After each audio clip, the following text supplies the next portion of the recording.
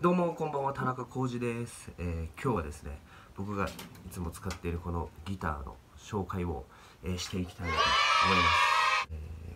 ー前回やった時3曲目で弦が切れました。とりあえずそれをえっ、と弦を外していきたいなと思います。あの弦は非常に尖ってるのでこういう風に丸くまとめて、えー、各自治体に出してください。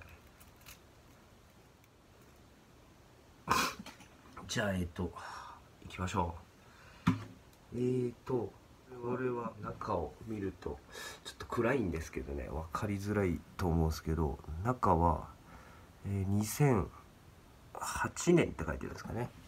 2008年だからちょうど10年前にできたギターでえっと中には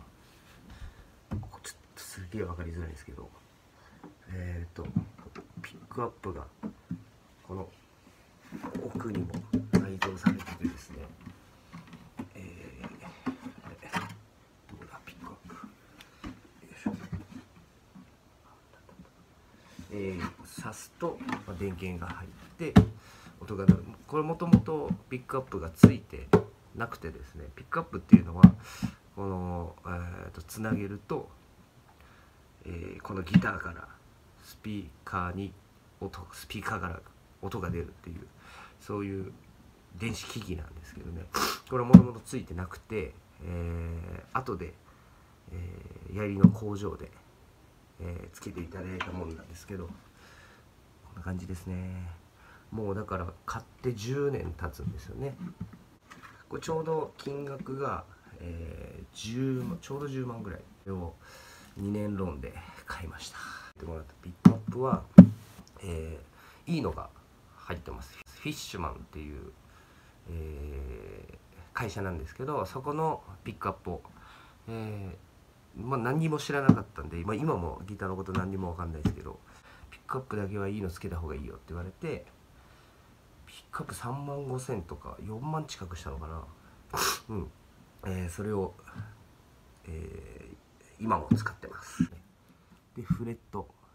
これ大体割と人によるんでしょうけど1年に1回ぐらい変えるんでしょうけどフレットも、ピンですね。ギターを止めるところ。サドル、えー全部買ってから1回も変えてないです。まあこうボディをご覧の通り、えーまあ、この辺とかもねもう割れてきてるんですけど実はここと、ーここも、えー割れてここもですね割れて3回ぐらい実はその修理のために入院してる。っていうことがあります、まあ、削れてきてこんな感じでガタガタガタになってます。あのまあ次回ねまた実際弾いてみようかと思うんですけど、えー割とこう5弦6弦低い音がどんどんどんどん割と鳴るような感じなんですけど高音も割とジニンとなるギターで、えーうんまあ、いわゆるドンシャリ系のギターです。こう側面とか裏側とかこう歴史があります。じゃじゃんじゃんステッカーだらけ。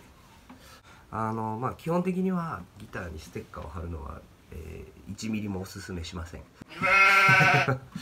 何も知らずに、まあ、貼ってやった貼ってしまったっていうことでいまだにもう取ってないんですけどね、まあ、これもこれでっていう感じで。で後ろのペグは、えー、とこんな感じになってます。わかりますかね？うん。えー、KID って書いてますね。でちなみにこれはもう、えー生産はしてないらしいですね。エンゼルのこれエンゼルの絵が入ってるんですけどこのタイプのやつはたまにまだ今もちらちら見かけるんでおそらくこう形式が変わりつつ、えー今も売ってるのかなと。もう木によって音が全然違うってことで、えーまあ、僕はねあのーまあこうライブさせてもらってよくギターすごくいい音ですねっていう風に、えー言われることがすごく多いんですけど中でもいい木にあったのかなという感じですね。うん。まあ、あとですねギター以外で、えー使っている機材、まあ、その ギターと、えー木の中でシールドっていうのあるんですけどこれ緑のシールド。これ1本が何メートルだこれ？5メートルかな。5メートルもあるのかな？5メートルやな。5メートルので5000ぐらいした記憶があります。10年ぐらい使ってるんですけど実はこうあのいい音ですねって言われるのもシールドに秘密があってこのシールドでだいぶ音が変わります。日本製のやつらしいんですけどねこれも知ってる方いたらコメント欲しいんですけど、えーすごく音がいいですこのシールド。弦が、まあ、ちょっと箱捨ててもうたんであれなんですけどまあダダリオですね。ダダリオの、えー、ホスパーブロンドのライトゲージっていう、えー、大体そうワンセットで6本で1000円ぐらいの、えー使ってますね。でまあ僕だいぶこうピッキングが強いんで、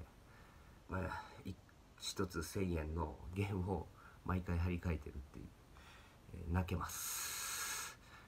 そしてピックピックなんですけど